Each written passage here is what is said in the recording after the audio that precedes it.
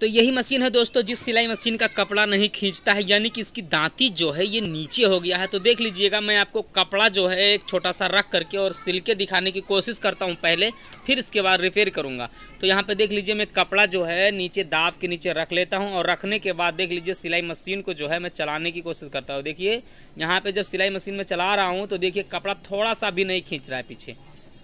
यहाँ पे देखिए थोड़ा सा भी नहीं खींच रहा है सिलाई मशीन चल रहा है और कपड़ा नहीं खींच रहा है यानी कि इसकी जो दांती है ये नीचे हो गया। तो ये नीचे हो गया है तो इसको देखिएगा, कभी भी आपको दांती के नीचे कोई भी खास लगा करके ऊपर मरम्मत करिएगा। मैं आपको बता रहा हूँ कि कैसे आपको करना है। तो यहाँ पे क्या करना है, जब भी आपको दांती ऊपर करना है तो सिलाई मशीन को ऐसे पलट लेना है। पलट लेने के बाद यहाँ पे देख लीजिए, यहाँ से जो दांती है, यहाँ पे पेच लगा हुआ है स्क्रू लगा हुआ है। देख लीजिए, यहाँ पे इस स्क्रू को आपको थोड़ा सा ढीला कर देना है। और ढीला करके यहाँ पे जब भी आप थोड़ा सा ठोकर मारेंगे तो ये ऊपर चला जाएगा। तो यहाँ से मैं इस स्क्रू से, इसको ड्राइवर से देख लीजिए, यहाँ पे स्क्रू को ढीला कर लेता हूँ। यहाँ से देख लीजिए, बहुत ही थोड़ा ढीला करना है, ज़्यादा ढीला नहीं करना है। थोड़ा सा जब आप ढीला करेंगे तो क्या होगा कि जहाँ पे आप सेटिंग करना चाहेंगे, वहाँ पे सेटिंग हो जाएगा। अगर जास्ती ढीला कर देंगे तो ये दिन फ्री हो जाएगा। ऊपर नीचे से एकदम हाथ से कर सकते हैं तो दिक्कत हो जाए। बहुत हल्का सा ढीला करना है। और यहाँ पे देखिए, यहाँ पे जो दांती है एकदम लेवल पे चल रहा है। तो यानी कि ये दाब की वजह से आपको किलर दिखाई नहीं दे रहा तो इस दाब को हम निकाल लेते हैं। क्योंकि इस दाब को जब निकाल लेंगे तो आपको क्लियर दिखाई देगा। इससे क्या होगा आप समझ जाएँगे अच्छे तरीके से। तो यहाँ से देख लीजिए, मैं दाब को खोल लेता हूँ और दाब खोलने के बाद में यहाँ से हम दाब को निकाल लिए हैं। अब देखिए, आप दांती देखिए, एक एक बार देखिए ज़रा। यहाँ से देख लीजिए, प्लेट के लेवल में है, इसी की वजह से कपड़ा नहीं खींच रहा है।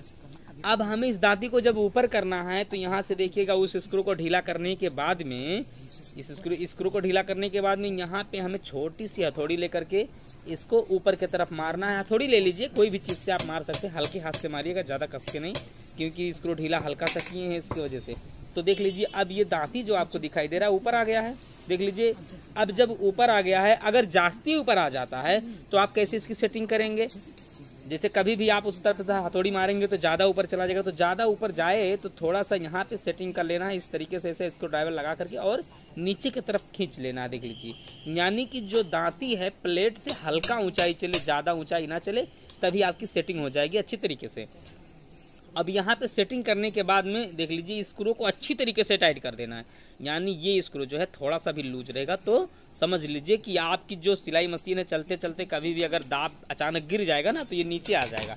तो इसकी वजह से यहाँ पे अच्छी तरीके से आपको टाइट कर लेना है। अब देख लीजिए, यहाँ पे जो दांती है, दांती की सेटिंग अच्छी तरीके से हो गई है। देख लीजिए, चलाते समय आपको दांती दिखाई दे रहा है। कितना गजब का सेटिंग हो गया है। अब हम क्या करते हैं, इस दाब को जो खोल लिए थे सेटिंग करते समय, इस दाब को हम लगा लेते हैं यहाँ पे। इस तरीके से हम दाब को लगा करके और इसके बाद सिलाई करके फिर दिखाते हैं। फिर आप देखिएगा कैसे चलता है।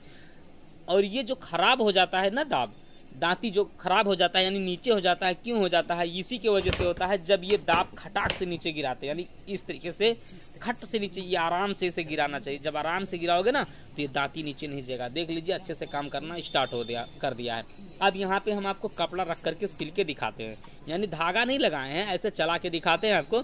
कि देख लीजिएगा कि किस तरीके से सिलाई मशीन जो है कपड़ा आप खींचने लगेगा। देख लीजिए, यहाँ पे अब ये जो सिलाई मशीन है, कपड़ा अच्छी तरीके से खींच रहा है कोई दिक्कत नहीं आ रहा है। तो इसी तरीके से आप अपने सिलाई मशीन को सेट कर लीजिएगा।